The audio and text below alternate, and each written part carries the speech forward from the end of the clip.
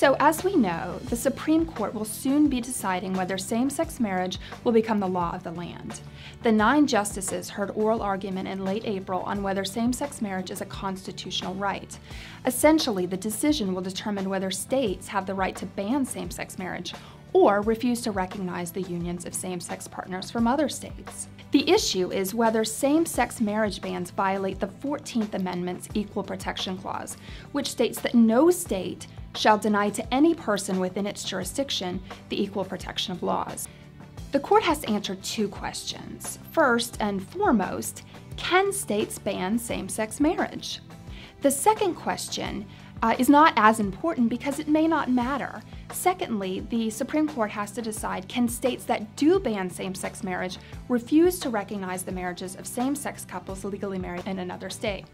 So, to break it down, the plaintiffs, the couples, are arguing that they should be given equal access to the constitutional right of marriage, and that's something the court has long stated is a fundamental right.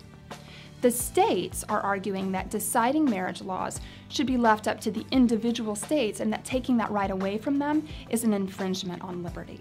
What's going to happen? What is the Supreme Court going to do with this case? Well, we don't know. Uh, it's a real nail biter, and the justices are deeply divided on this issue.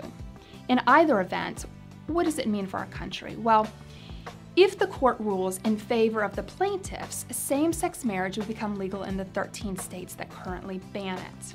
If the court sides with the states, then we could actually see a rollback of same sex marriage laws.